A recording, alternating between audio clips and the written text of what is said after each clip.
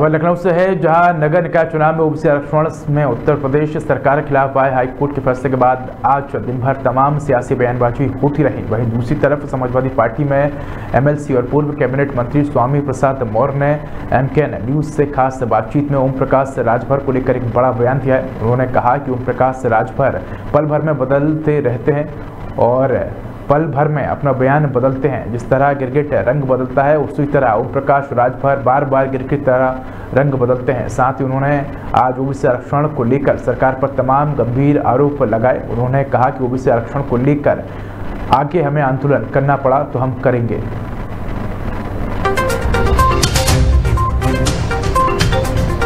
नगर निकाय चुनाव को लेकर हाई कोर्ट में इसकी तमाम दिनों से सुनवाई चल रही थी। आरक्षण को लेकर हमारे साथ मौजूद हैं स्वामी प्रसाद मौर्य, जो कि सपा एमएलसी हैं और पूर्व कैबिनेट मंत्री सर, जिस तरीके से आज कोर्ट ने यह फैसला दिया है ओबीसी को लेकर, कैसे?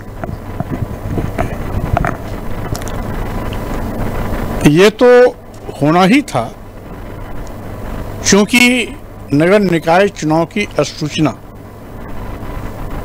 संवैधानिक मानकों को बिना पूरा किए आधी अधूरी तैयारी के साथ भाजपा सरकार ने अधिसूचना जारी की थी। और पहले तो मनमाने तरीके से पिछड़ों के आरक्षण में कटौती और अनुसूचित जाति, अनुसूचित जनजाति की सीटों पर, बड़े पैमाने पर आरक्षण में कटौती की थी। रही सही, इनकी गलतियों का खामियाजा आज पिछड़ों को उठाना पड़ रहा है। इनकी गलतियों के दुष्परिणाम स्वरूप ही।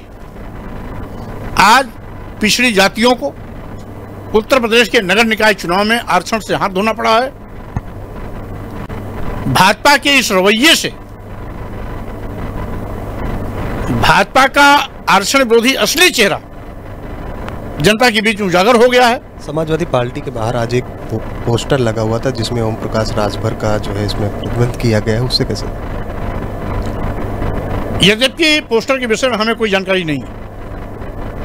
लेकिन यदि कहीं इस प्रकार का पोस्टर है भी तो कार्यकर्ताओं ने अपनी भावनाओं को ज़ाहिर किया। जिस तरीके से ओम प्रकाश राजभर जी क्षण क्षण में पार्टी बदल लेते हैं क्षण क्षण में अपना बयान बदल लेते हैं क्षण क्षण में विचार बदल देते हैं, और इसी तरीके से क्षण क्षण में अपना निर्णय बदल लेते हैं तो इस तरीके से हर क्षण गिरगिर की तरह रंग बदलने वाले ओम प्रकाश राजभर जी के चरित्र के मुताबिक अगर किसी ने ऐसा पोस्टर छापा है तो हम समझते हैं यह प्रत्याशित नहीं है। ओबीसी आरक्षण को लेकर अभी किसी तरीके का ओम प्रकाश राजभर का अभी किसी तरीके कोई ट्वीट नहीं आया ना कोई बयान आया इसे कैसे देखते हैं? अब मैं तो यही चाहूँगा कि चूँकि पिछड़ों के हितैषी होने का दम भरते हैं तो इस मौके पर उनको भी स्पष्ट रूप से अपना बयान देना चाहिए।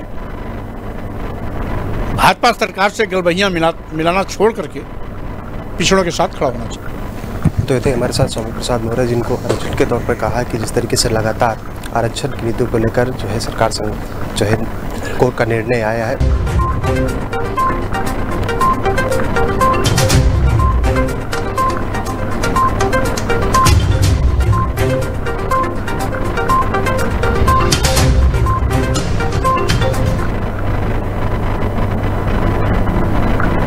तो इसी खबर पर की जानकारी के हमारे साथ लखनऊ से हमारे सहयोगी अविनाश जुड़ चुके अविनाश, स्वामी प्रसाद मौर्य ने क्या कुछ कहा उससे आरक्षण और ओपी राजभर को लेकर? देखिए, बिल्कुल आपको बता दे, नगर निकाय चुनाव को लेकर लगातार सुप्रीम कोर्ट में तमाम दिनों से सुनवाई चल रही थी। एक के बाद एक जो हाईकोर्ट का जो फैसला था, उसे पहले ही सुरक्षित रख लिया गया था, जिसके बाद आज हाईकोर्ट ने ओबीसी के आरक्षण को लेकर उत्तर प्रदेश के खिलाफ जो आज कोर्ट ने फैसला सुना है, उसके बाद पूरे दिन से तमाम जो राजनीतिक दल है, वो अपनी बयानबाजी करते नज़र आ रहे हैं। तो वहीं आज एमके न्यूज़ से खास बातचीत में स्वामी प्रसाद मौर्य ने एक बड़ा बयान दिया है, ओम प्रकाश राजभर को लेकर। कि ओम प्रकाश राजभर गिरगिट की तरह रंग बदलते हैं साफ़ तौर पे। जिस तरीके से लगातार आपने देखा होगा समाजवादी पार्टी के एमएलसी और पूर्व कैबिनेट मंत्री स्वामी प्रसाद मौर्य लगातार जो है भारतीय जनता पार्टी हो या फिर ओम प्रकाश राजभर उसको लेकर बयानबाजी करते रहे। लेकिन जिस तरीके से आज निकाय चुनाव का जो फैसला आया है हाई कोर्ट की तरफ़ से उसमें आज इस तरीके से बयानबाजी करते नज़र आए। जी धन्यवाद अविनाश आपके इस खबर पर अधिक जानकारी के लिए।